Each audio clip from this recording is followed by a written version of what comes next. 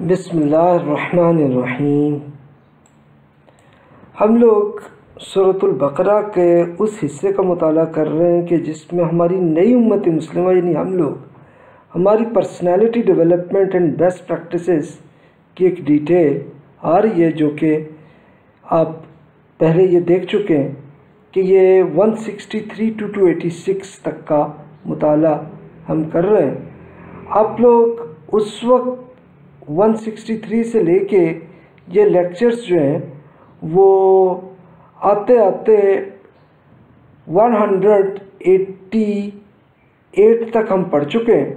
تو یہ ہمارا ہو چکا تھا، جس میں ہم نے تفصیل سے کہ ایک اللہ تعالیٰ کے ساتھ ایمان، ثبوت، اس کے جو سائنٹیفک ثبوت تھے، وہ پڑھے تھے۔ پھر بدت اور نفسیاتی غلامی سے بچنے کے طریقے بتائے گئے۔ ایک ہماری پرسنالٹی ڈیولپمنٹ کی بنیاد کیا کیسے ہماری اپنی پرسنالٹی کو اچھا بنانا ہے۔ اللہ تعالیٰ کی کیا ریکوائرمنٹس اس کے بعد پھر اللہ تعالیٰ نے یہ بتا دیا کہ قصاص یعنی اب جو برائیاں ہماری، وہ جس سے ہمیں بچنا ہے، قتل اور پھر اسی طرح فراڈ کرپشن قبضہ، ان سب چیزوں سے ہمیں بچنا ہے۔ اور پھر ہمیں یہ بھی بتا دیا کہ بھی آپ کی جو پراپرٹی ہے، اس کی وصیت کس طرح سے چلانی ہے اور پھر عبادت میں جو روزہ ہے، اس کے احکام کی تفصیل آپ پڑھ چکے ہیں۔ یہ احکامات تھے جب تک آپ پڑھ چکے ہیں، اب ہم اگلا شروع کر رہے ہیں، جو کہ عبادت کے طریقہ کار میں عمرہ، حج، جہاد اور بدتوں بدتوں سے بچنا۔ یہ ہمارا ٹاپک ہے، جس کی ہم سٹڈی کر رہے ہیں۔ تو یہ ون ایٹی نائن سے شروع ہو رہی ہے۔ اور یہ پھر آیات ٹو ہنڈریڈ ایٹین تک یہ، یہی حکم چلتا رہے گا۔ اب یہ ملتے جلتے چونکہ معاملات آ رہے ہیں اور حج اور عمرہ سے متعلق جو سوالات آ رہے ہیں، تو اسی کے جوابات ہیں۔ تو اب یہ میں آپ سے عرض کر دوں کہ حج اور عمرے کا طریقہ وہی تھا جو حضرت ابراہیم علیہ السلام السلام نے اب سے چار ہزار سال پہلے بتایا تھا پورا طریقہ، اور وہاں سے آج تک وہی طریقہ ہے۔ اس میں کوئی ڈفرینسز نہیں ہوئے۔ ہاں یہ چینجز آئیں کہ لوگوں نے خود ایجاد کی ہے نئے نئے طریقے، تو اللہ تعالیٰ نے پھر اس پہ تبصرہ کر کے بتا بھی دیا کہ یہ غلط ہے۔ یہ نہیں کرنا، تو اسی کی سٹڈی ہم لوگ کر رہے ہیں۔ بسم اللہ الرحمن الرحیم۔ یسألونک عن الاہلتی قل ہیا مواقیت للناس والحج، ولیس البر بأن تأتوا البیوت۔ من ظهورها ولكن البر من اتقى وأتوا البيوت من أبوابها واتقوا الله لعلكم تفلحون۔ وہ آپ سے حرام مہینوں کے بارے میں پوچھتے ہیں۔ اب یہ لوگوں کا کوشچن تھا۔ اچھا وہ یہ الحلہ سے بعض حضرات نے ترجمہ کرتے ہوئے تم سے مہینوں کے بارے میں پوچھا۔ اب یہ یا یہ ٹائم کا تو ایسا نہیں ہے۔ یعنی اصل یہاں پورا اگر آپ چاہو سباق پڑھیں گے تو اندازہ ہوگا کہ یہ حج کی بات ہو رہی ہے اور حج کے چار مہینے ایسے ہیں کہ جو حضرت ابراہیم علیہ السلام سے لے کے آج تک ایسا ہی ہے، جس کو ہم سیکرڈ منتھس جسے کہا جاتا ہے۔ یعنی یہ کون سے؟ ذوالقاعدہ جو الیونتھ ہے، ذوالحج ہے ٹویلو اور محرم ون۔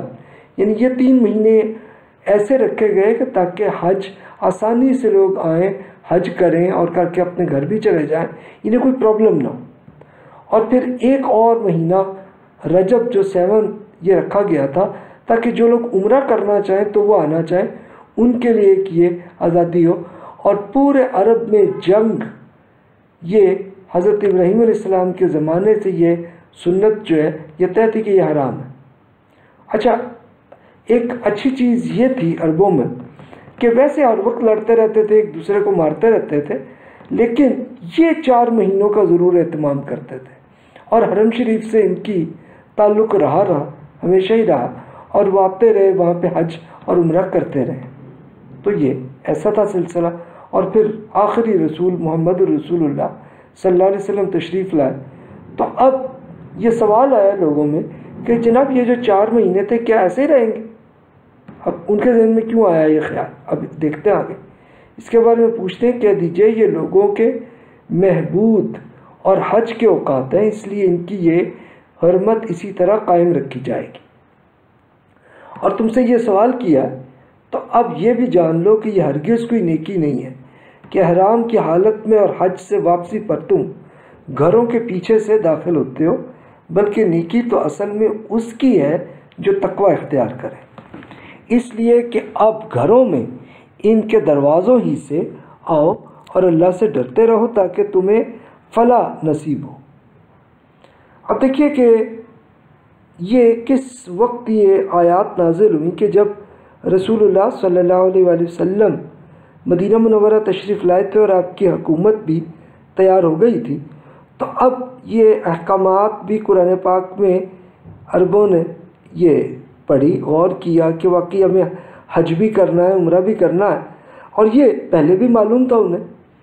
تو اب یہ ذہن میں سوال آیا کہ جناب، ابھی اس وقت کی سچویشن یہ تھی کہ مکہ مکرمہ میں جو قریش قبیلہ جو حرم شریف کی خدمت کرتا تھا، تو انہوں نے یہ کیا ہوا تھا کہ جو رسول اللہ صلی اللہ علیہ وسلم اور صحابہ کرام رضی اللہ نے ان کو مدینہ آنے مکہ آنے سے روک دیا تھا۔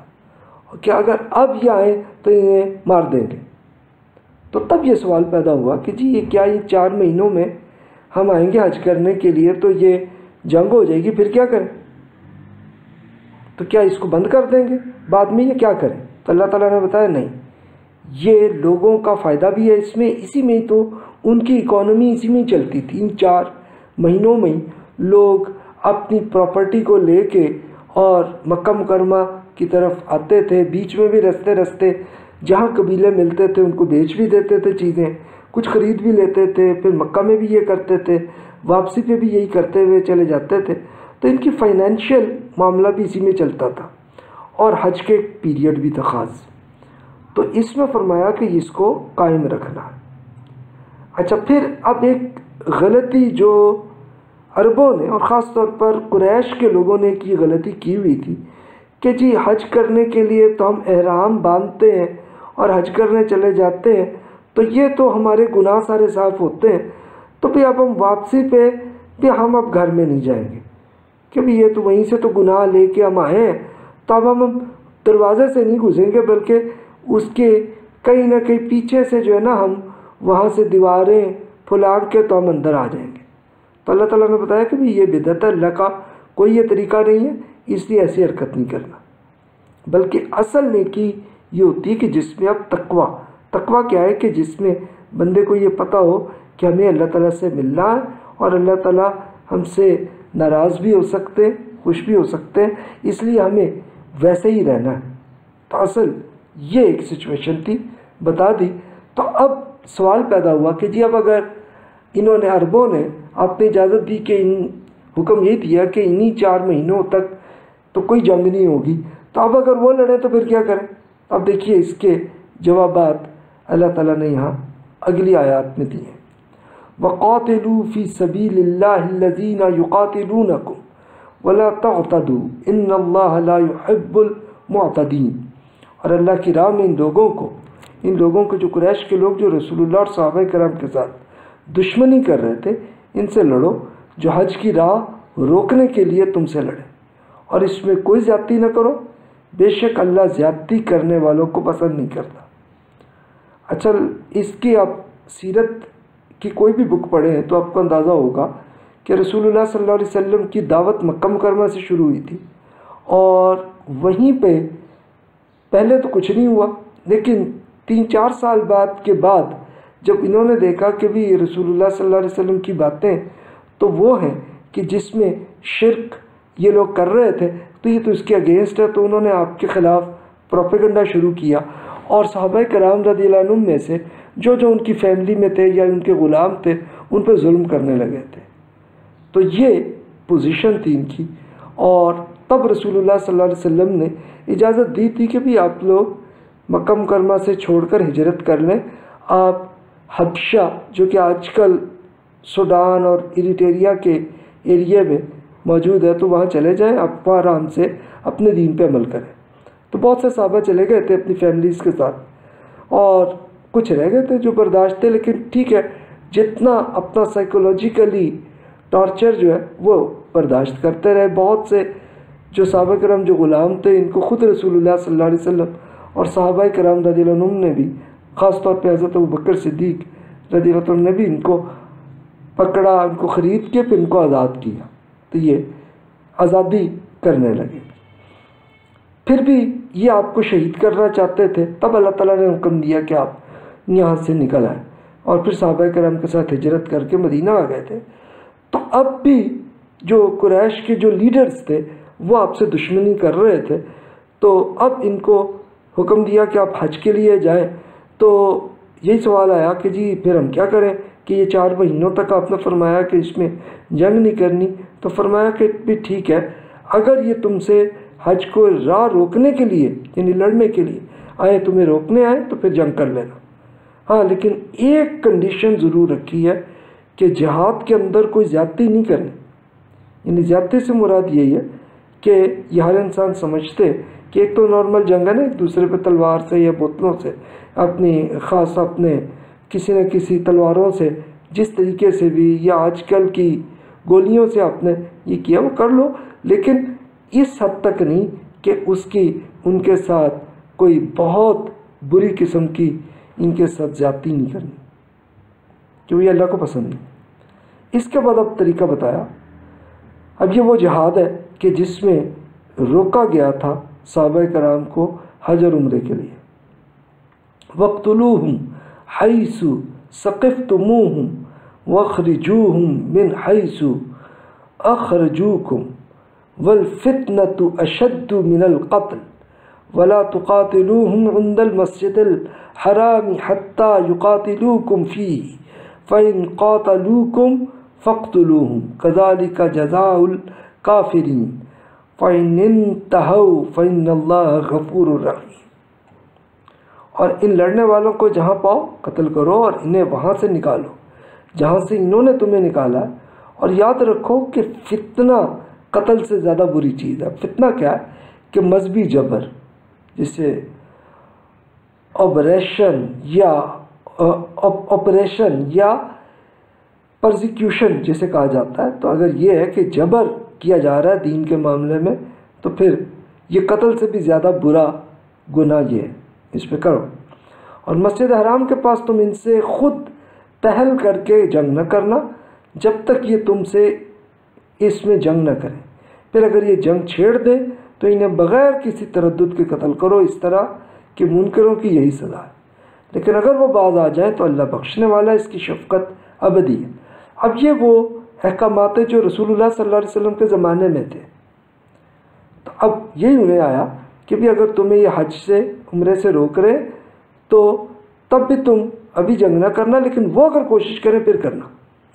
اور یہ بتا دیا کہ ان کا گناہ سب سے بڑھ کر ہے فتنہ یعنی پرزیکیوشن کہ آپ کو دین سے زبردستی ہٹانا چاہ رہے ہیں۔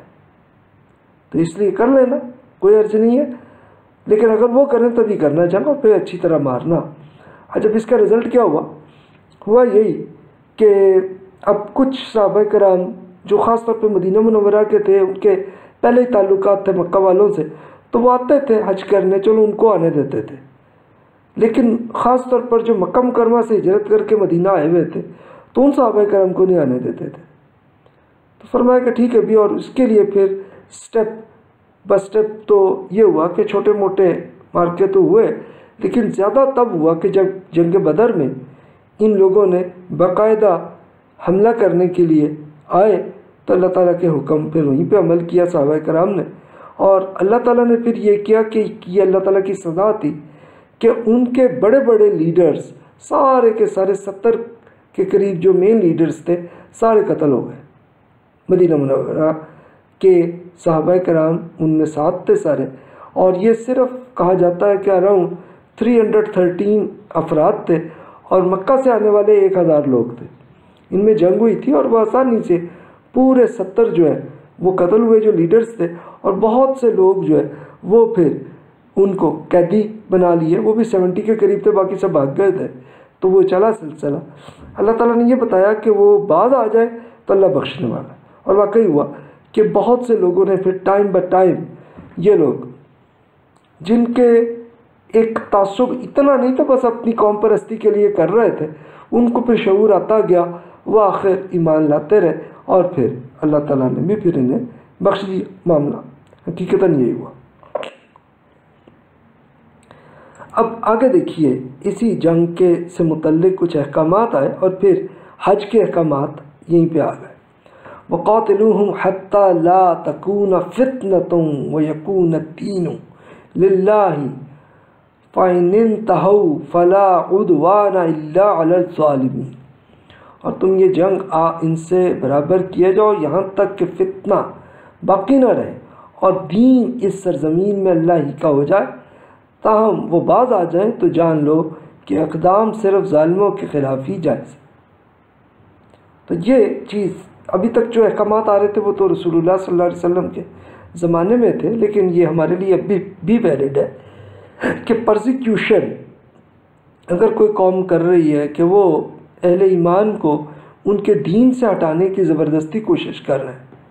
تو پھر اب مسلمانوں کے لیے اجازت ہے ان کی حکومت کو کہ وہ یہ جہاد کریں ان سے۔ اور جہاد کر کے اس فتنے کو جو پرزیکیوشن ہے اس کو ختم کریں۔ تاکہ ہر آدمی آزاد ہو جائے، آزادی سے پھر جو چاہے فیصلہ کرے، نیکی کرے، برائی کرے، جو کرنا کرے، اس کا اللہ تعالیٰ نے رزلٹ دینا ہے۔ لیکن ہمیں اس حد تک اجازت دی گئی ہے وہ ہمیں نہیں، بلکہ مراد ہماری حکومت کو اجازت دی گئی ہے کہ وہ یہ جنگ کر سکتے ہیں۔ کریں، جہاد کریں اور ان ظالموں کے خلاف یہ جائز ہے۔ یہ ہمیں اجازت دے دی۔ حکومت کے حد تک ہمیں نہیں۔ یہ نہیں کہ اب مجھے کوئی خیال آیا کہ جی فلاں ملک میں جناب یہ مسئلہ ہو رہا تو میں اٹھوں اور وہاں لے کے کہ بند وہاں پہ اڑا دوں، یہ اجازت نہیں ہمیں، بلکہ یہ حکومت کے ذریعے یہ کنٹرول ہو۔ ورنہ پریکٹیکلی آپ جانتے ہی ہیں کہ یہ پاکستان میں بھی ہوا، افغانستان میں، فلسطین میں بھی ہوا کہ لوگوں نے اپنے طور سے جنگ کرنی شروع کی۔ تو چلو، جب تک دشمن رہا، تب تک تو چلتا رہا سلسلہ، لیکن اس کے بعد پھر آپس میں لڑنے لگے اور آپس میں کتنے سال تک ایک دوسرے کو مارتے رہے۔ ابھی بھی یہی سلسلہ جاری ہے۔ اب یہی سلسلہ اب سیریا میں، عراق میں اور یمن میں اور ان کئی ممالک میں چل پڑا ہے سلسلہ۔ وہ بھی ایک دوسرے کو مارنے لگ رہے ہیں۔ تو یہ سلسلہ چلتا رہتا ہے۔ اس لیے یہی رسول اللہ صلی اللہ علیہ وسلم نے یہی بتایا کہ بھی کسی نے اگر کوئی ایسا جھنڈا لگایا تو اس کے بالکل چھوڑ دینا، ہٹ جانا۔ اور جہاد صرف اور صرف حکومت کے ذریعے ہی ہوتا ہے۔ تو یہ آپ خود بخاری اور مسلم میں جہاد کی بکس جو ہے وہ اس کی حدیث پڑھ لیں، اس میں سیم وہی احکامات۔ اس کے بعد پھر اب یہ مزید بھی فرمایا، الشہر الحرام بشہر الحرامی والحرمات قصاص. فمن اعتدى عليكم فاعتدوا عليه بمثل ما اعتدى عليكم واتقوا الله واعلموا ان الله مع المتقين. ماہ ماہ حرام. کا بدلہ ماہ حرام ہے اور اسی طرح دوسری حرمتوں میں بھی بدلیں لہذا جو تم پر زیادتی کریں ان کو اپنے اوپر اس زیادتی کے برابر ہی جواب دو اور اللہ سے ڈرتے رہو اور جان لو کہ اللہ ان کے ساتھ ہے جو اس کے حدود کی پابندی کرتے ہیں۔ یعنی جنہوں نے آپ کو پرزیکیوشن کی ہے، تو ٹھیک ہے، ان سے آپ جہاد کر سکتے ہیں کیجیے گا۔ اور اگر آپ پہ زیادتی کریں تو آپ بھی زیادتی کر سکتے ہیں۔ مثال کے طور پر کہ جیسے جنگ ہو رہی ہے، تو ایک تو ہے نا کہ جنگ میں سیدھی تلوار سے لڑ رہے ہیں، ٹھیک ہے نو پرابلم لیکن اگر وہ اس قسم کا اگر یہ زیادتی کرنے لگیں کہ مثال کے طور پہ لوگوں کو اغوا کر کے ان کی الگ الگ ٹانگیں جو ہیں وہ کاٹنا اور اس طرح کر رہے ہیں، مار نہیں رہے بندے کو، بلکہ یہ کر رہے ہیں۔ تو ٹھیک ہے، پھر اس کا تم بھی یہ بدلہ انہی لوگوں کے ساتھ کر سکتے ہو۔ یعنی ان کے عام لوگ نہیں، بلکہ وہی جو ان کی ملٹری کے لوگ ہیں، انہی کے ساتھ آپ کی یہ جہادہ کر سکتے ہیں۔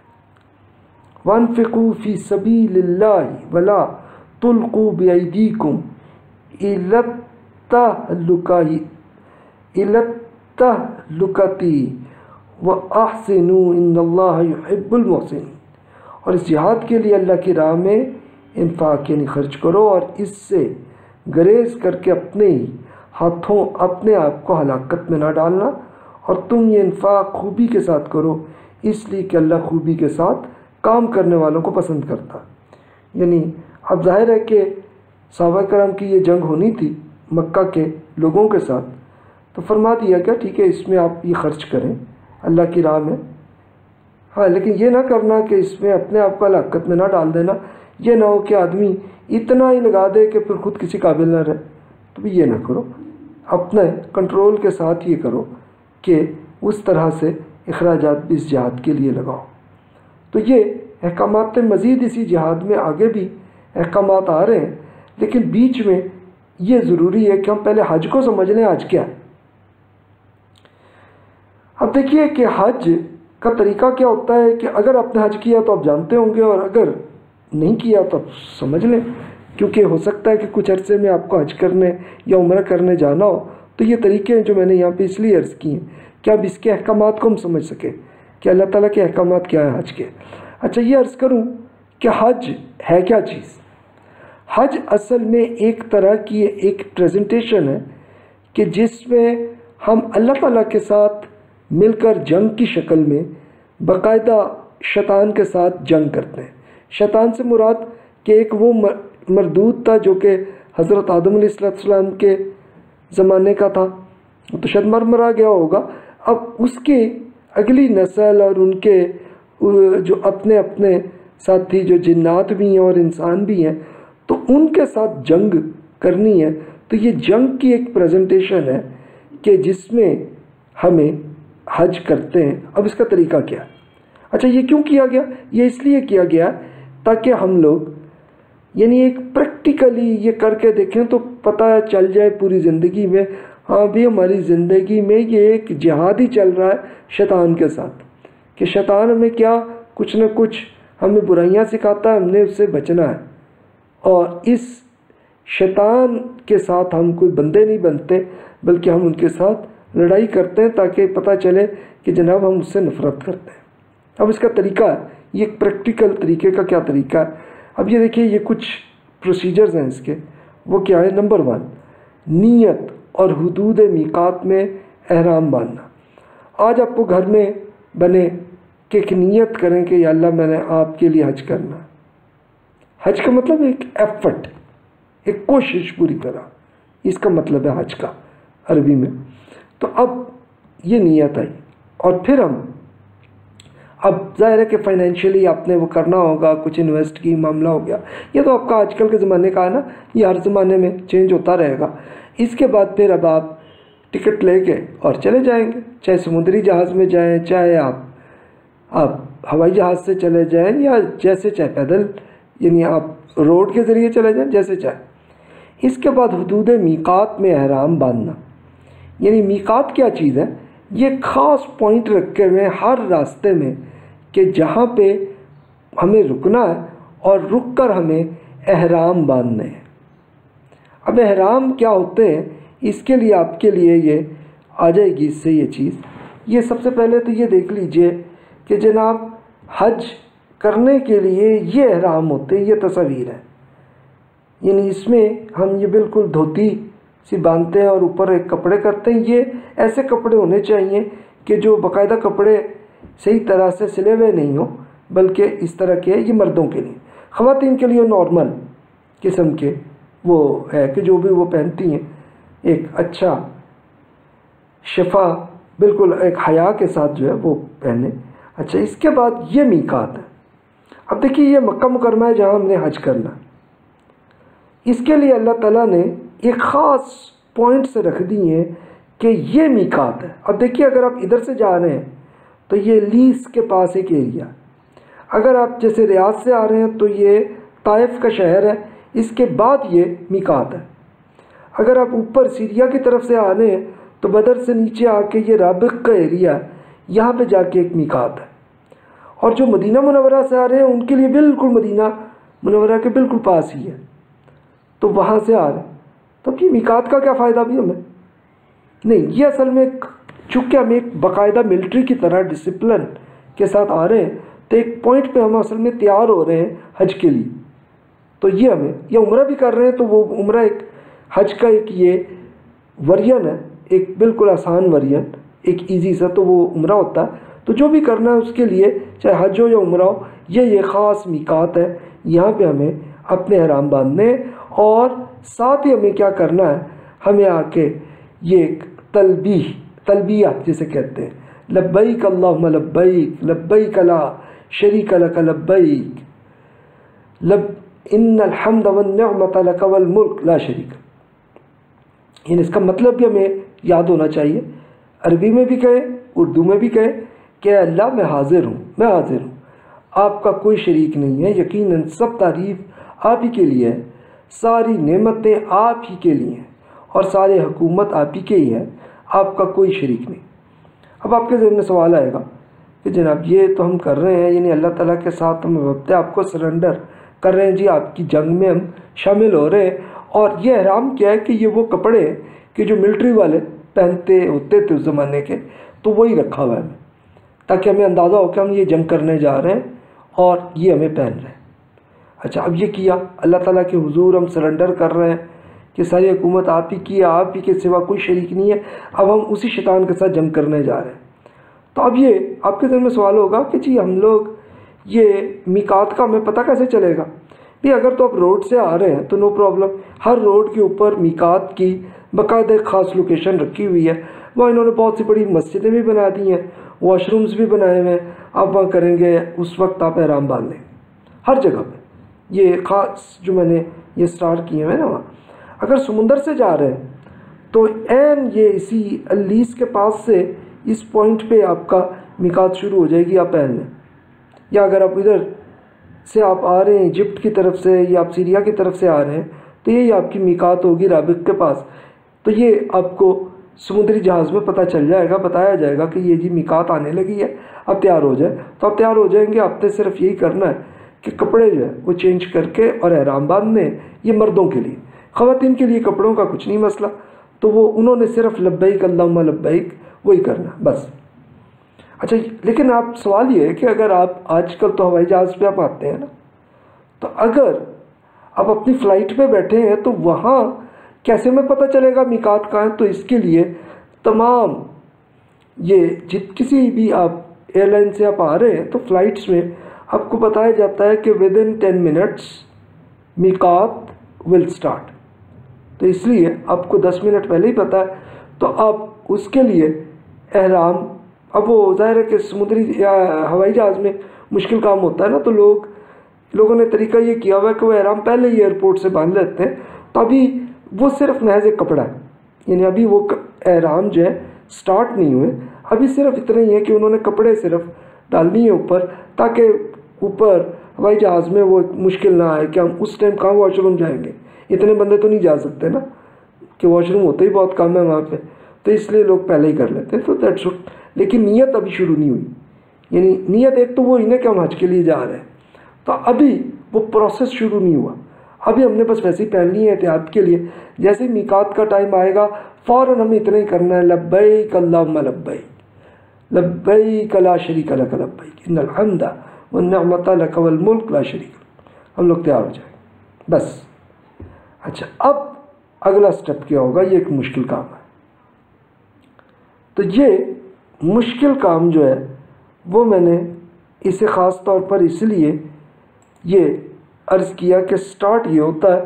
تو اس کے لیے صحابہ کرام ہم تیار ہوئے تھے اور وہ حج کے لیے جا رہے تھے۔ تو اس کو میرے خیال ہے اگلے لیکچر میں ہم پوری ڈیٹیل میں جاتے ہیں کہ جی کس طریقے سے یہ حج کا پروسیس کیسے کرنا ہے۔